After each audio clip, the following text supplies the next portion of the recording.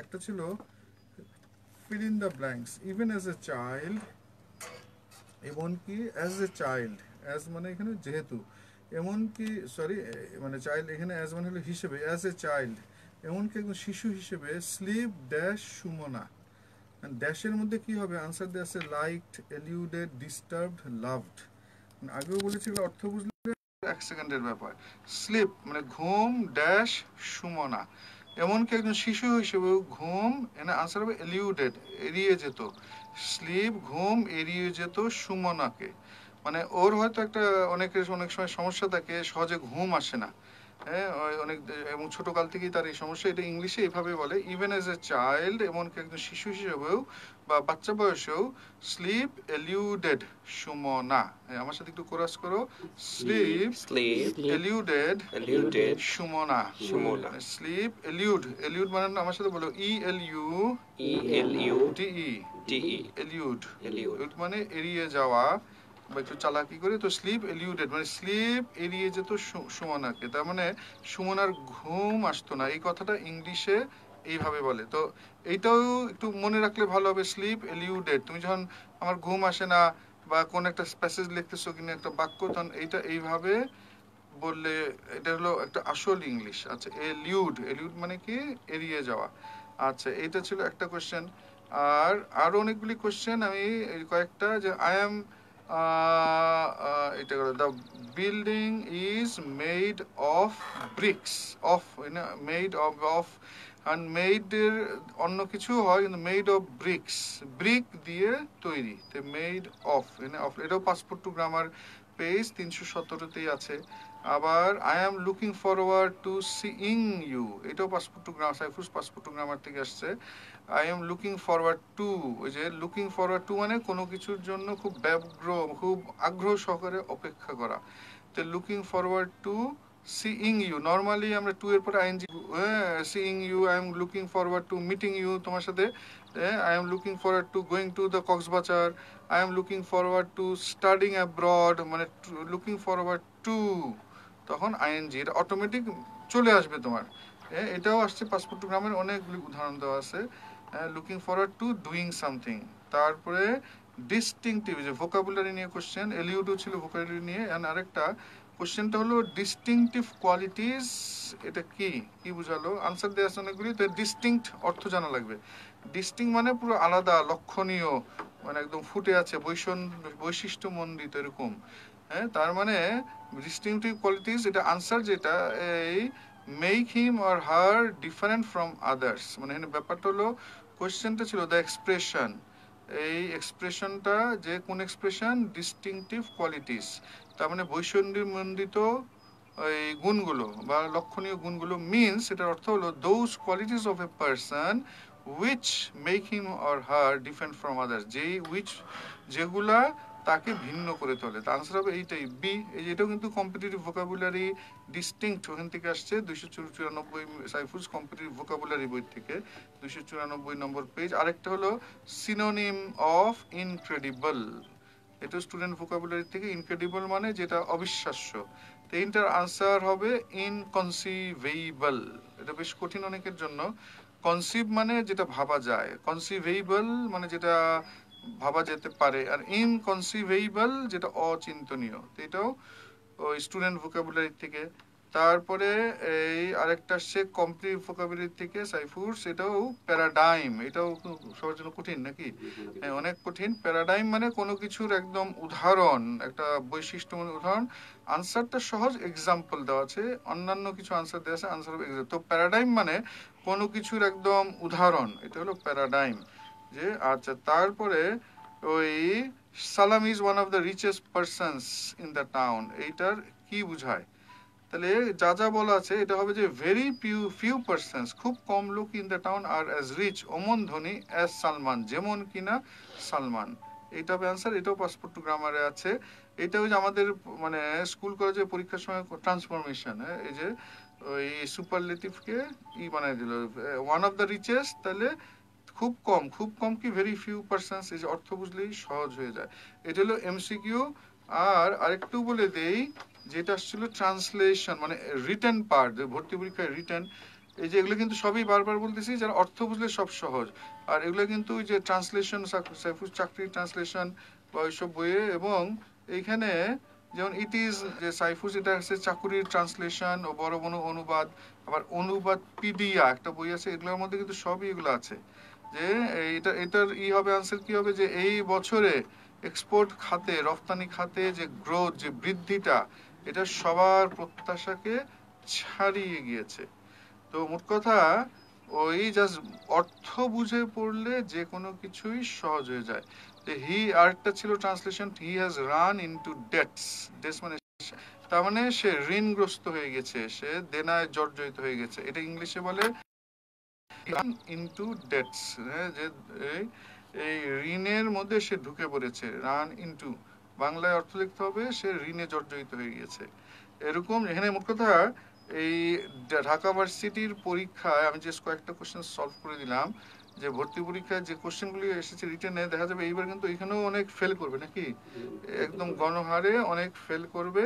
কেন? যে এখানে কিন্তু কোনো গ্রামার না, পুরাটাই হলো অর্থ বোঝার কোশ্চেন অর্থ বুঝলে প্রিসি রাইটিং প্রিসিতেও প্রায় পনেরো লাইনের একটা প্যাসেজ আসছে এটাকে নির্যাস পাঁচ লাইনে লিখতে হবে। এটা কিন্তু বেশিরভাগ কিন্তু পড়েই বুঝবে না তাই না? হ্যাঁ?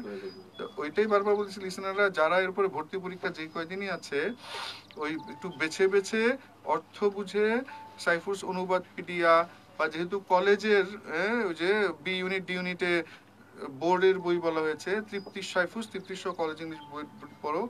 আর এখন ওই যে কোশ্চেনটা ছিল বিদেশ নিয়ে, বিদেশে পড়াশোনা। আজকের ঢাকা ভার্সিটি আজকে একটা নিউজ ছিল, প্রথম আলোতে ফেসবুকেও ওটা ছিল যেমন ওই ঢাকা ভার্সিটির র্যাঙ্কিং নিয়ে, এবং ওইটা কিন্তু ঢাকা বিশ্ববিদ্যালয়ের সহ উপাচার্য প্রো ভিসি হ্যাঁ নাসরিন আহমদ ম্যাডাম উনি বলেছেন যে এই মানে ভোটের রাজনীতির জন্য পদোন্নতির ধাপগুলো অনেক সহজ হয়ে গিয়েছে। এক্ষেত্রে গবেষণা, প্রকাশনা একটা বাধ্যবাধকতা নেই। ফলে র্যাঙ্কিং কমে গিয়েছে টাইমস হায়ার এডুকেশনের ইসে। এটা পড়ার উদ্দেশ্য হলো মানে যে আমি আমি তো এম করছি বাইরে, আমি ইঞ্জিনিয়ারিং করেছি দেশে। তোমার যে ইচ্ছা থাকে চায়না যাওয়ার আমেরিকা তো আছে, তাহলে কিন্তু অনেক মানে আসলে এটা বিদেশে না গেলে, বিদেশে গেলে বোঝা যায়, পড়াশোনাটা অনেক ভিন্ন এখানে। আর কালকে, আর রংপুর থেকে তুমি যেহেতু বলতেছো কামাল সাইফুসে কালকেও রংপুর ব্রাঞ্চে স্পোকেন রাইটিং বিভিন্ন ধরনের কোর্স আছে। তুমি সাইফুস রংপুর ব্রাঞ্চে যেমন বিসিএস ক্লাস এগারোটায় দুপুর তিনটায় বিসিএস এগারোটায় ব্যাংক জব আবার স্পোকেন ক্লাসও রংপুরে। রংপুর ব্রাঞ্চটা হলো জাহাজ কোম্পানির মোড়ে, জাহাজ কোম্পানির মোড়ে, ওই ঢাকা হোটেলের গলিতে, জাহাজ কোম্পানির মোড়ে। আর রংপুর নিয়ে আরেকটা সুখবর একটু বলে দিই। তোমাদের সবার প্রিয় যে আর্য শান্ত স্যার যে উনি অঞ্চলে রংপুরে আসবেন কয়েকদিন পরেই। ইনশাল্লাহ পয়লা সাইফুসের একটা আলাদা ডিপার্টমেন্টে যে শুদ্ধ উচ্চারণ নিয়ে বা রেডিওতে ক্যারিয়ার, কণ্ঠ অনুশীলন এগুলো অনেক কিছু নিয়ে ইনশাল্লাহ পয়লা অক্টোবর একটা ক্লা, একটা ওয়ার্কশপ হবে রংপুরে। তোমাদের সবার প্রিয় আর্য শান্ত স্যার নেবেন এবং এটার জন্য রেজিস্ট্রেশনও হ্যাঁ এটার জন্য রেজিস্ট্রেশনও করতে হবে এবং একটা বিষয় যেটা দেখা যায় আর কি আমি এর আগেরবার যখন রংপুরে গিয়েছিলাম প্রায় পাঁচশো ছয়শোর মতো মানুষ এসেছে এবং তাদের সাথে দেখা গেছে যে কথা বলতে পারিনি। কারণ এত মানুষের ভিড় ছিল তো আমার কাছে মনে হলো যে আরেকটু যদি গোছানো থাকতো আমার কিছু কথা ছিল বলার যে কথাগুলো হয়তো আমি বলতে পারতাম। আর স্পেশালি কথা বলার যে ব্যাপারটা আপনি যেখানেই কাজ করতে চান না কেন যে অফিসেই কাজ করতে চান না কেন শুদ্ধভাবে কথা বলাটা কিন্তু খুব ইম্পর্টেন্ট ইটস নট নেসেসারি যে রেডিওতেই কাজ করতে হবে সবাই হ্যাঁ, হ্যাঁ, হ্যাঁ। কিন্তু কথা বলাটা খুব দরকার। তো সেই শুদ্ধ উচ্চারণ এবং আমার কিছু গল্প বলার আছে। যে গল্পগুলো যেমনটা আমি বিলিভ করি যে success comes from experience and experience comes from bad experiences তো রেডিওতে শুরুর আগে আমি অনেক ধাক্কা খেয়েছি সেই সব গল্পগুলো এবং সবকিছু মিলে একটা সেশন আমি করতে চাই। যেমন সেখানে একটা মিউজিক্যাল সেশন হবে। সালিকিন ভাই সবার প্রিয় যে সালিকিন ভাই আছে সিঙ্গার উনি থাকবেন উনি কিছু মজার মজার গেমস খেলবেন। দেন আমি আমার কিছু বই নিয়ে কথা বলব। সো ওভারঅল সবকিছু নিয়ে একটা সেশন হবে রংপুর জাহাজ কোম্পানির মোড়ে যে সাইফুরসের শাখাটা রয়েছে সেই শাখায়। তো স্যার নাম্বারটা বলে দিলে বোধহয় হ্যাঁ, ভালো হয়। যারা রংপুর ব্রাঞ্চের নাম্বারটা একটু সেভ করে রাখো। তার সাথে যোগাযোগ করলে এই আমাদের ব্রাঞ্চ ম্যানেজার ইনচার্জের সাথে ওনার নাম্বারটা হলো zero one six one three তেতাল্লিশ বিশ তেইশ। Zero one six one three তেতাল্লিশ বিশ তেইশ। এবং স্যার আরও ছোট করে আরেকটু জিনিস বলতে চাই হ্যাঁ। যেটা সেটা হচ্ছে আমি হয়তোবা রংপুরে আবারও যাব কোনো এক সময় কিন্তু অ্যাজ এ টিচার কিংবা এভাবে ক্লাস নেওয়াটা কিন্তু আবার আদৌ কখনো হবে কিনা সেটা আমি জানি না। তাই হচ্ছে যারা এই মুহূর্তে শুনছেন তারা প্লিজ আমি রিকোয়েস্ট করব যারা রংপুরের লিসনার আছেন কারণ রংপুরে আবার কবে এতটা কাছে থেকে কথা বলা হবে সেটা জানি না। সো এই সুযোগটা প্লিজ মিস করবেন না এবং এক হাজার টাকা শুনে হয়তো অনেকে ভাবছেন যে এক হাজার টাকা দিয়ে ওয়ার্কশপ কেন করব? এবং ট্রাস্ট মি বিশ্বাস করুন যেদিন আপনি ওয়ার্কশপ করতে আসবেন সেদিন আপনি বুঝতে পারবেন যে এই এক হাজার টাকা আরও অনেক কম হয়ে একটাই তো সেজন্য আর এটা সিট যেহেতু লিমিটেড সেজন্য ওই যে ব্রাঞ্চে একটু যোগাযোগ করে এই আস্তে আস্তে সবাই যারা আগ্রহী একটু অনেক কিছু শেখার আছে। তারপরে ওই মাদারীপুর থেকে রাবেয়া লিখেছে স্যার আমি ইংলিশে অনেক খারাপ এনএসআই তে পরীক্ষা দিব এই অল্প সময়ে কি পড়ব দয়া করে কিছু পরামর্শ দিন। এখন এইটাই একটু খুব গুরুত্বপূর্ণ। ইতিমধ্যে অনেকে কিন্তু অনেক পরীক্ষা দিয়েছ। আমি এমনও আমার সাথে দেখা হয়েছে গত তিন বছরে হয়তো পনেরোটা পরীক্ষা দিয়েছে, বারবার ব্যর্থ। হ্যাঁ এবং ওই সময়, তার মানে যার বারবার ব্যর্থ। এটার মেইন কারণ আমরা একটু ধরিয়ে দিচ্ছি। তুমি জাস্ট বেছে বেছে ওই কোশ্চেন কি আসে এটাই পড়তেছো, প্রশ্ন ব্যাংক তো আসলে আর তোমার ইংরেজি যেহেতু তোমার ফাউন্ডেশন দুর্বল, ফলে যতই তুমি বারবার ওই প্রশ্ন ব্যাংক পড়তেছো ভলেই পড়তেছো, মনে থাকতেছে না। আর এনএসআই পরীক্ষা বা যেইটাই, ওই এক মাস পরে হোক আর দুই মাস পরে হোক তোমার কিন্তু আসলে ফাউন্ডেশন তুমি এড়াতে পারবে না। তুমি জাস্ট আমি লিসনাররা যারাই যে মেইন হলো সমস্যা আমাদের দেশের ইংরেজি, আমাদের ফাউন্ডেশনটা মজবুত না। ফলে ভোকালি শিখি মনে থাকে না, এই এসে প্যারাগ্রাফ শিখি মনে থাকে না ইংলিশ পড়তে ভালো লাগে না, বাধ্য না হইলে ইংলিশের কাছে যাই না।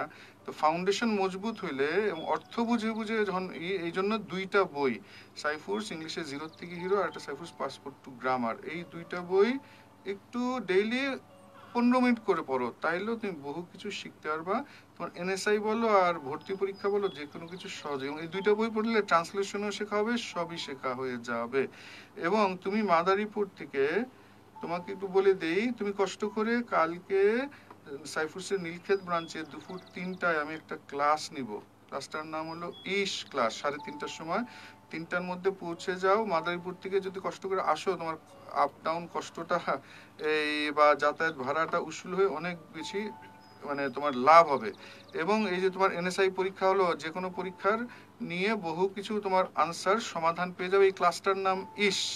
এই ক্লাসের মধ্যে থাকবে ইংলিশ নিয়ে ক্যারিয়ার নিয়ে, আরও বহু কিছু নিয়ে সাবজেক্ট চয়েস নিয়ে অনেক স্বচ্ছ ধারণা। এবং ক্লাসটা করে তুমিও বলবা, ইস ক্লাসটা আগে করলে তো আরও ভালো হতো তো এই জন্যই কালকে এটা সাইফুসের নীলক্ষেত ব্রাঞ্চটা হলো, বলাকা সিনেমা হলের মুখোমুখি সামনে রাফিন প্লাজার পাঁচতলায়। এই ক্লাসটা সবার জন্য ফ্রি একটা খাতা কলম নিয়ে আসলেই হবে। এবং সোয়া তিনটার মধ্যে না পৌঁছলে জায়গা পাবা না। আর নীলক্ষেত ব্রাঞ্চের নাম্বারটা হলো লাস্টে বাহাত্তর zero one six one three তেতাল্লিশ বিশ বাহাত্তর zero one six one three তেতাল্লিশ বিশ বাহাত্তর। কেরানীগঞ্জ থেকে ফারজানা লিখেছে স্যার আজকে সি ইউনিটে পরীক্ষা দিয়েছি ভালো হয়নি। বিশেষ করে রিটেন পার্ট খুবই খারাপ হয়েছে। অনুবাদ অ্যান্সারই করতে পারিনি এখন ডি ইউনিটে পরীক্ষা দিতে চাই কি করব? তুমি বাকি কয়েকদিন আর সাইফুরস ওই যে চাকুরি ট্রান্সলেশন এই দুইটা পড়ো। আর হ্যাঁ জাস্ট ডেইলি তুমি এক ঘণ্টা করে পড়ো আর ওই যে পাসপোর্ট টু গ্রামার জিরো থেকে হিরো ফাউন্ডেশন। মনে হচ্ছে এত বই এটা কিন্তু তুমি জাস্ট পনেরো দিনে শেষ হয়ে যাবে। এটা একটা ভিন্ন ধরনের বই। এবং সাথে সাথে আরেকটু ধরিয়ে দিচ্ছে। এখন আমরা একটু শুনব ইংলিশ নিয়ে যে আমাদের সমস্যা, যে আমরা আসলে বলতেও পারি না, কিছুই পারি না। রাসেল স্যারের কাছ থেকে যে আছে ইংলিশ শেখার পদ্ধতিটা যে আসলে কত সহজ সাইফুসের একটা আবিষ্কার, একটু রাসেল স্যারের কাছ থেকে। আসসালামু আলাইকুম। সকলের প্রিয় রাসেল স্যার বলছি। আমি ইংলিশ নিয়ে বলার আগে তার একটা, তার আগে একটা কথা বলে নিই। গতকাল আমার এক স্টুডেন্ট আমাকে একটা প্রশ্ন করল যে, স্যার, আমি অনার্স মাস্টার্স কমপ্লিট করেছি এবং আমার অনার্স অফ ফার্স্ট ক্লাস এবং মাস্টার্স অফ ফার্স্ট ক্লাস কিন্তু আমি চাকরির ভাইবা পরীক্ষা দিতে গেলে আমি সঠিকভাবে যে কোয়েশ্চেনগুলো করার সেগুলো আমি উত্তর দিতে পারি না। তার কারণটা কি? তো আমি তাকে বললাম যে চাকরি ভাইবা আপনি দিতে গেলে কেন উত্তর দিতে পারেন না? বলে আমি নার্ভাস হয়ে যাই। তার মানে আমরা অভ্যস্ত না ইংরেজি বলে। তো অভ্যস্ত না হওয়ার কারণে আমরা কিন্তু বাংলাদেশে অধিকাংশ স্টুডেন্ট যারা চাকরি খোঁজে বা পড়াশোনার পরে চাকরির জন্য অ্যাপ্লাই করে, তারা কিন্তু সঠিকভাবে ইন্টারভিউ ফেস করতে পারে না। তার একটা বড় কারণ হলো, আমরা সবসময় কোয়ান্টিটি যেটা, তার মানে আমরা পরিমাণকে প্রায়োরিটি দিই। আমরা কখনো কোয়ালিটিকে প্রায়োরিটি দিই না। আপনি আজকে নিজেকে প্রশ্ন করেন যে আপনার তো অনেক কোয়ান্টিটি আছে। অর্থাৎ আপনি অনার্সের ফার্স্ট ক্লাস সার্টিফিকেট আছে মাস্টার্সের ফার্স্ট ক্লাস সার্টিফিকেট আছে, বা আরও অনেক বেশি হয়তো সার্টিফিকেট থাকতে পারে বাট আপনি কখনো প্রশ্ন করেছেন যে আপনার কতটুকু কোয়ালিটি আছে? বাংলাদেশে এইটি পার্সেন্টের সঠিক কোয়ালিটি নেই, যেটা আমার ব্যক্তিগত অভিমত। তো আপনি আজকে থেকেই যদি কোয়ালিটি এনশিওর করতে চান তার একটা বড় দিক হলো আপনি ইংলিশে ভালো হতে হবে। অর্থাৎ ভালো ইংরেজি লিখতে হবে এবং ভালো ইংরেজি কথা বলতে জানতে হবে। তো সেটার জন্য একটা পরিবেশ প্রয়োজন। আমার মনে হয় বাসায় যদি আপনি চেষ্টা করেন, বাসায় চেষ্টা করতে পারেন। বাট পরিবেশটা আপনাকে যতটা হেল্প করবে, সেটা বাসা হতে এবং করবে না।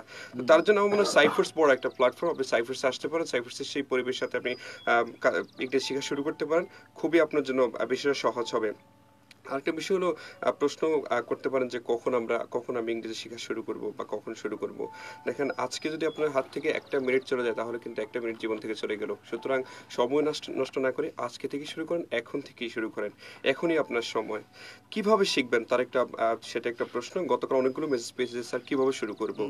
আমি তিনটা সেন্টেন্স আপনাদেরকে শেখাবো। আপনাদের হাতের কাছে যদি কলম কাগজ থাকে তাহলে কলম কাগজ হাতে নিতে পারেন। আমার মনে হয় খুব উপকার দিবে। যেমন প্রথম একটা সেন্টেন্স সেটা হলো he should have help me he should have help me এটার অর্থ হলো, সে আমাকে সাহায্য করা উচিত ছিল, অথবা তার আমাকে সাহায্য করা উচিত ছিল। অর্থাৎ উচিত ছিল কথাটা ইংরেজি হলো শুড হ্যাভ তো যত উচিত ছিল আমরা কিন্তু শুড হ্যাভ দিয়ে বাক্য বানাতে পারি। তাহলে আমি যদি বলি যে, আমার যাওয়া উচিত ছিল, তার মানে I should have gone should have অবশ্যই মনে রাখতে হবে হ্যাভ ভি থ্রি দিতে হবে। শুড হ্যাভ ছিল আই শুড হ্যাভ কুকড আমি যদি বলি আমার তার সাথে দেখা করা হচ্ছিল I should have met him আমি যদি বলি আমার তার সাথে কথা বলা হচ্ছিল I should have talk to him আমি যদি তারা আমাকে জানানো উচিত ছিল, তাহলে they should have informed me তার মানে আপনি এই বাক্য দিয়ে আরও একশোটা বাক্য বানানোর চেষ্টা করেন। কেন হি হলো, কেন শুড হলো, কেন হ্যাভ হলো, কেন হেল্প হলো, এই প্রশ্ন করার দরকার নেই। জাস্ট একই নিয়ম অনুসরণ করে আপনি আরও বাক্য বানানোর চেষ্টা করেন, তাহলে আপনার কাছে সহজ হয়ে যাবে। মানে মেইন হলো নিজে নিজে প্র্যাকটিসের সময় সে যদি যে অনেকগুলো জোরে জোরে পড়ে তাই না নাকি? হ্যাঁ? জি জি। তাইলে অটোমেটিক মাথায় গেঁথে যাবে। আর। যদি শুধু ওই বইয়ে লেখা আছে সুর সুরের পরে হ্যাঁ। প্লাস ভি থ্রি এতটুকু লিখলে আসলে কখন ইংলিশ শেখা হবে কখন অটোমেটিক মুড যে আই শুড হ্যাভ কুকড বা I should have met him I should have talked I should have told. বা he should have informed me এগুলো অটোমেটিক ওইগুলো হ্যাঁ, হ্যাঁ। আসবে না। জি স্যার। মানে এটা মুখে বারবার বললে হয় কি রিডিংটা তার কিন্তু সলভ হয়ে যায়। তার রিডিং এর যে। সমস্যাগুলি থাকে সেটা সমাধান হয়ে যায়। এবং এখানে আপনার চাকরি ভাই চাকরির যে পরীক্ষাগুলি থাকে আপনি পড়তে পড়তে দেখুন এমন কিছু বিষয় পেয়ে যাবেন যেগুলো চাকরির পরীক্ষা আপনার সহজে আপনি। আনসার করতে পারবেন। আমি আরেকটা সেন্টেন্স বলছি সেটা হলো have you ever been to Saint Martin Saint Martin মানে হলো আপনি কখনো সেন্ট মার্টিন গিয়েছেন কিনা? তার মানে আপনি কখনো কোথাও গিয়েছেন কিনা? এই প্রশ্ন করার জন্য আপনি have you ever been to দিয়ে ওই জায়গার নামটা দিয়ে দিলেন।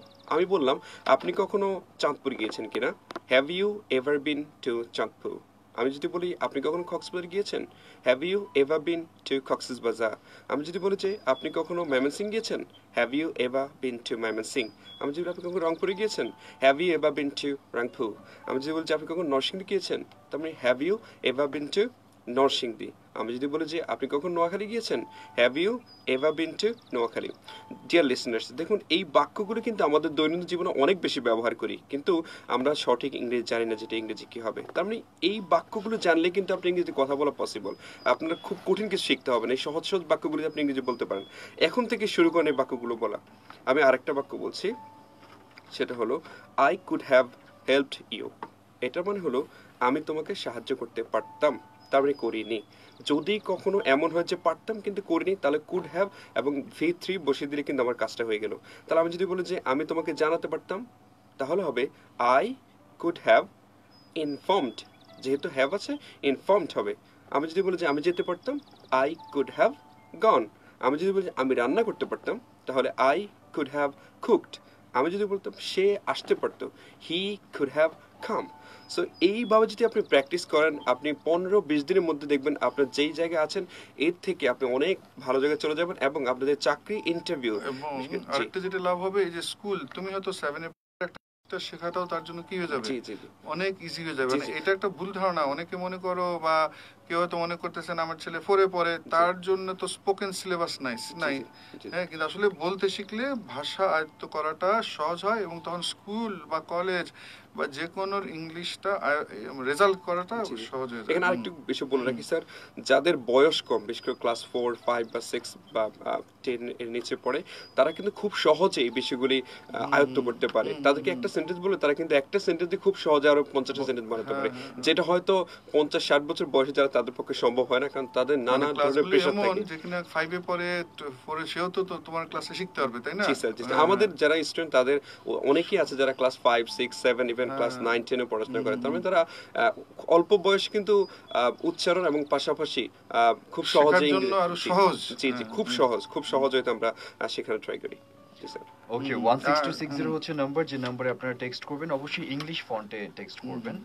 আর স্যার দেখতে পাচ্ছি হ্যাঁ, তার আগে একটা কোশ্চেন যে মোহাম্মদপুরে কালকে ক্লাস আছে জি স্যার আগামীকাল শনিবার বিকাল তিনটায় মোহাম্মদপুর ব্রাঞ্চে সাইফার্স মোহাম্মদপুর ব্রাঞ্চে যেটা লোকেশন হলো হ্যাঁ? জি মোহাম্মদপুর বাস স্ট্যান্ডে বিকাল তিনটা একটা ব্যাচ এবং বিকাল পাঁচটায় এবং লাস্ট ব্যাচটা সন্ধ্যা সাতটায়। তোমারই ক্লাস হ্যাঁ? জি স্যার আমি ক্লাসটা আচ্ছা, মোহাম্মদপুর নাম্বারটা হ্যাঁ জি স্যার মোহাম্মদপুর ব্রাঞ্চে আরেকটা গুরুত্বপূর্ণ নিউজ হলো আগে যে স্পোকেন ক্লাস কালকে কয়টায়? তিনটায় পাঁচটায় সাতটায়? জি স্যার বৃহত্তর মোহাম্মদপুরের যারা ওটা হলো মোহাম্মদপুর বাস স্ট্যান্ডেই তাই তো? বাস স্ট্যান্ডে কি মার্কেট না? ওই মসজিদের পাশেই হ্যাঁ? জি স্যার ওই নাম কি জানি ওটা মনে আছে যে মোহাম্মদপুর বাস স্ট্যান্ডেই বাস তিনতলায় নেমে ডান দিকে তাকালে দেখা যায় সাইফোর্স হ্যাঁ, এবং বড় করে। যারা মহৎপুরের ওটা লালমাটিয়া ধানমন্ডির একদম কাছে সাতাইশ নম্বর সংকট থেকে ওই মহৎপুর নাম্বারটা হলো লাস্টে নাইন ছিয়ানব্বই। জি sir. Zero one six one three তেতাল্লিশ বিশ ছিয়ানব্বই। আরেকবার zero one six one three তেতাল্লিশ বিশ ছিয়ানব্বই।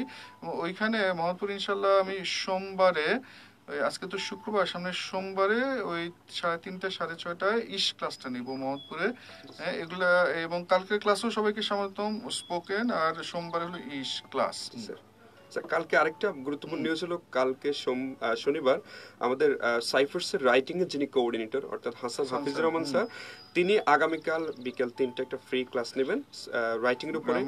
তো যারা সুযোগ পাবেন তারা অবশ্যই সবার ক্লাসে অংশগ্রহণ করবেন। গ্রামার প্লাস রাইটিং এটা তো ভিন্ন ধরনের সবারই কাজে লাগবে। জি স্যার। বিশেষ করে চাকরি পরীক্ষায় এটা খুবই হেল্প করবে। সবার জন্য আসবে। স্কুল কলেজের গ্রামারও অনেক সহজ হয়ে যাবে। অনেক সহজে জি স্যার। হ্যাঁ, জয়পুর মোহাম্মদপুর ব্রাঞ্চে নাম্বার হলো লাস্টে নাইনটি সিক্স জি, sir. Zero one six one three তেতাল্লিশ বিশ ছিয়ানব্বই। জি আর রবি মঙ্গল বৃহস্পতি হলো আমি ক্লাস নেব এবং হাসান সেন নেবেন সাইফোর্স দেখাবো ওকে আমি ডেলি স্টার বা বিদেশি বইয়ের বড় বড় বাক্য বুঝি না ডিকশনারি ঘেটে অর্থ বুঝতে পারছি না এটার জন্য কি বই পড়ব? এটা একটা বড় সমস্যা। এবং ডেলি স্টার বা এগুলো ঘাটাঘাটি করে পড়তে গেলে এই একশো জনে দেখা যায় হয়তো পাঁচজন লেগে থাকতে পারে বাকিরা পারে না। কারণ এটা খুবই বোরিং কাজ এবং নিজে নিজে ওই বড় বড় বাক্য খাড়া করাটা। ওই দিন আমাকে একজন এস এম এস করছে যে সে টেসল করতেছে, এই নর্থ সাউথে বা কোথাও, তারপরে সে বড় বড় বাক্য বুঝতেছে না। নর্মাল বাক্য বলতেও পারে লিখতে পারো, কিন্তু বড় বড় বাক্য আইএলটিএস রিডিং ইত্যাদি এটার সমাধান নয়, তোমাদের এই ডিকশনারি ঘাটার কষ্টটা আমি করে দিয়েছি। আমি জাস্ট একটু গ্যারান্টি দিচ্ছি যে তোমার যে ইংলিশের যত সমস্যা, গত বারো, চোদ্দ, ষোলো বছরে যত বই পড়ে যা শিখছো, সাইফুসের একসেট বই, বিশেষ করে এই যে বড় বড় বাক্য বুঝো না, এই একাডেমিক বই, ডাক্তার পড়তে, ডাক্তারি পড়তে যেও কিন্তু অসুবিধা হচ্ছে অনেকের। আমি এস এম এস পাই ফোন পাই, আমি ডাক্তারি পড়তেছি, না বুঝে মুখস্থ করে পাশ করে যাচ্ছি, বই তো মানে শান্তি মতো বুঝতেছে না। ইঞ্জিনিয়ারিং হোক আর বিবিএমবি হোক। আর ম্যাথস হোক আর বিএসসি ডিপ্লোমার পরে বিয়ে যেটাই, এই যে কয়েকটা বইয়ের নাম আমি বলতেছি, এই বইগুলির একটা কমন নাম হলো তৃপ্তি সহ ইংরেজি বাক্য বোঝার ডিকশনারি বইগুলি হলো four G Saifurs four G grammar. Saifurs, অনুবাদ পিডিয়া আর সাইফুর্স ট্রান্সলেশ, চাকুরির ট্রান্সলেশন ও বড় বড় অনুবাদ। হ্যাঁ এই তিনটা বই ডেলি জাস্ট বিশ মিনিট করে পড়ো তোমার লাইফ একদম চেঞ্জ হয়ে যাবে। এটা পুরো ভিন্ন ধরনের বই। ডেলি স্টার পড়া এই- আইএলটিএস এর বড় বড় বাক্য বোঝাটা সহজ হয়ে যাবে। আর আমাদের আরও অনেক এস এম এস এসেছে one six two six zero হচ্ছে নাম্বার যেখানে আপনারা টেক্সট করতে পারেন। আর ক্যামব্রিজ আইএলটিএস এর বইগুলোতে প্যাসেজের কোনো ব্যাখ্যা দেওয়া নেই। কি কর- উচিত এই জন্যই কেমব্রিজ আইএলটিএস এর প্যাসেজের বাক্য বোঝা সহজ হয়ে যাবে। হ্যাঁ যে আগে ওই যে ফোর জি বই আর অনুবাদ পিডিয়া বই আর চাকরি ট্রান্সলেশন বই পড়লে। আর ব্যাখ্যা সব বই ইনশাল্লাহ বের হবে। ইতিমধ্যে সাইফুর্স আইএলটিএস রিডিং নামে একটা বই আছে, একটা অসাধারণ বই। আর একটা হলো Saifurs Cambridge IELTS fourteen solve এইটাও পুরো ভিন্ন একটা বই। যারা এক বছর পরে হোক, দুই বছর পরে হোক, আইএলটিএস দেওয়ার ইচ্ছা বা ইংরেজি প্যাসেজ নিয়ে সমস্যা সাইফুস আইএলটিএস রিডিং আর Saifurs IELTS Cambridge IELTS solve এই বইগুলো পড়লে ইংলিশের একটা নতুন জগৎ তোমার সামনে খুলে যাবে। আর এখানে কয়েকটা কোশ্চেন আসছে একটু একটু দেখে নিই। স্যার আমি অনির্বাণ আমি I student of class eight how can I improve my spoken হ্যাঁ ওইটা কিন্তু একটু আগে ইসে বলে দিল ওই যে রাসেল স্যার যে তুমি একটু ঘরে বসে স্পোকেন ইমপ্রুভের জন্য সাইফুল জিরো থেকে হিরো পাসপোর্ট গ্রামার করো। অনির্বাণ ইনশাল্লাহ your English will develop a lot হ্যাঁ। আচ্ছা আমি খুলনা থেকে পিওর ডিপ্লোমা ইঞ্জিনিয়ারিং পড়ার পরে আর কি পড়তে পারি? একটা হলো সবাই তো বিএসসি করে তাই তো? আর বিএসসি না করে সে যদি নর্মাল অনার্স লাইনে আসতে চায় তাও তো পারবে নাকি? হ্যাঁ? জি স্যার। ডিপ্লোমার পর সুযোগ আছে। মানে সে সাপোজ ডিপ্লোমা ইঞ্জিনিয়ারিং করল তারপর ইঞ্জিনিয়ারিং লাইনে থাকতে চায় না। বিএসসি না করে প্রাইভেট ভার্সিটি বা কোথাও সে অন্য কিছু তো অনার্স করতে পারবে। হুম এই এটা সবই সুযোগ আছে। এবং আবারও যে কোনোটা যাইতে চাও ইংলিশে ভালো হলে সুবিধা হবে। আমি ইন্টার সেকেন্ড ইয়ারে সায়েন্সে পড়ছি এইচএসসি তে জিপিএ ফাইভ কত ঘণ্টা পড়তে হবে পাওয়ার জন্য? আর এটা তো সব যার যার ব্যক্তি এটা ব্যক্তিভেদে ডিফার করে। হ্যাঁ এরপরও তুমি যাই পড়ো মন দিয়ে পড়ো। তুমি সায়েন্সের ওই ফিজিক্স পড়ো হ্যাঁ আর কেমিস্ট্রি যেমন আমি কয়েকদিন আগে আমরা ইন্ডিয়াতেই ছিলাম একটা ইউনিভার্সিটি পরিদর্শনে। ওখানে ঢাকা মানে বাংলাদেশের কিছু ছাত্র ছিল, একজন একটা সুন্দর কথা বলছে ওই দিন। ওইখানে সে বলতেছে, স্যার, স্কুলে আমরা ইন্টারমিডিয়েট ম্যাট্রিকে ফিজিক্স কেমিস্ট্রি এটা অনেক অঙ্ক পড়ছি, খালি অঙ্ক আর অঙ্ক। কিন্তু কনসেপ্টটা ক্লিয়ার মানে ই হতো না। এইখানে কনসেপ্টটা পুরো ব্যাপারটা খুব সুন্দর করে বুঝায় দেয়। ফলে আমরা অঙ্ক করি আর যাই করি, জিনিসটা একটা তৃপ্তি সহকারে আমরা বুঝে নিই। ফলে জিপি ফাইভ পর্যন্ত তুমি যাই করো, ব্যাপারটা বুঝে বুঝে পড়া।